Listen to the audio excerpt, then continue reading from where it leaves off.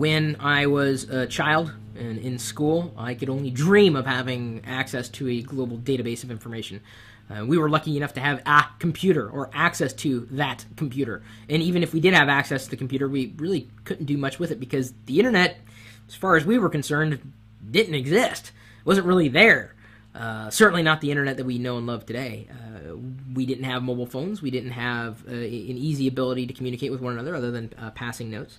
Uh, but I don't know if you uh, you know are in school. Maybe you know someone in school.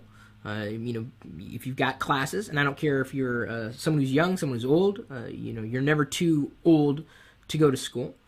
we've got five tech tips for you to help you study. we've linked the full list in the video's description below, as you can see, the link to lockergnome.com where we post all of our stories.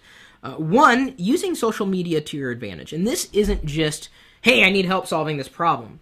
It's really reaching out and learning more about the people you're connected to so that when you do run into a problem that you can't resolve on your own, you have a better idea about who you can turn to. Uh, for potential on not necessarily ongoing support because you wouldn't rely on somebody else or at least i'd hope not rely on somebody else to help you pass a class. Uh, you could certainly uh, make your friendship bonds a bit stronger connecting with them over twitter facebook google plus or possibly even uh, youtube as well. There are so many apps that can help. We've already posted a handful of uh, our top educational apps uh, for ios and I believe Android uh, is coming down the pike for that uh, because certainly having apps, uh, you know, right there can help. Yes, you can go online, you can search for information and, and, and, get a result.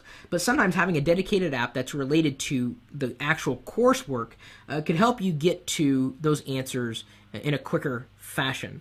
And you know, like I said, if it were if it were me and I was doing this again, uh, with every class that I took, I would arm myself with as much as I possibly could, and certainly, you know, using uh, social media or specific applications to help uh, could get the get the job done. Uh, there are also cloud-based study tools that you could use. Uh, it's not just you who's going through a class; you may have classmates. Um, you know, you may need to work on a project together. Well, instead of let's say passing uh, a Word document back and forth or an Excel spreadsheet you know you're used to this desktop uh, software paradigm.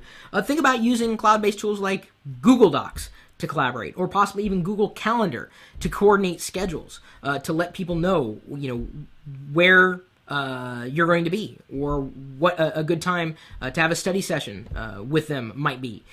These tools are right there and in many ways they don't cost anything other than time. And if you're not using them for uh, your schoolwork, you're you're missing out. Uh, there's a lot to be taken advantage of, and maybe your classmates, or your friends don't realize that these tools are available. It's not just for fun stuff, really. Uh, this is for getting work done, not just like work work, but schoolwork. And then, of course, I think for uh, you know extending your education and learning more about a particular topic, two resources that I wish I had at my disposal: iTunes U uh, and Khan Academy. Yes, I could watch this stuff now, and and I, and I might, uh, but I, I, I, I can't help but think that if I had access to Khan Academy when I was having problems with math in grade school, I would have had fewer problems. Uh, the way that uh, he approached uh, the topics uh, is very targeted and a lot less boring than the teacher that I had. Um, I did, I, I remember in biology class when I was in the, the 10th grade, sophomore in high school.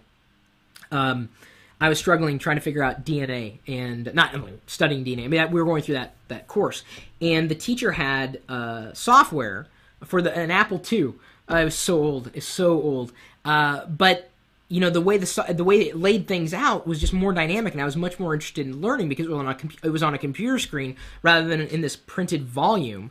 Uh, and because of that software, and because of the quizzes, and because of the dynamic uh, interactive nature, uh, I, I got an A. I, I, I almost I believe I aced that part of the course, and I I really truly believe it was because the technology was there. It brought the subjects to life. So if you're having problems with one particular subject in school, just understand the technology that you have could help make it easier for you. I know what it did for me in a very, very limited basis because I didn't have the type of technology that we have today when I was going through school. I wish we would have because I have a feeling I would have done a hell of a lot better. So I'm just telling you, students today, take advantage of technology. We have more suggestions in the article linked in the video's description.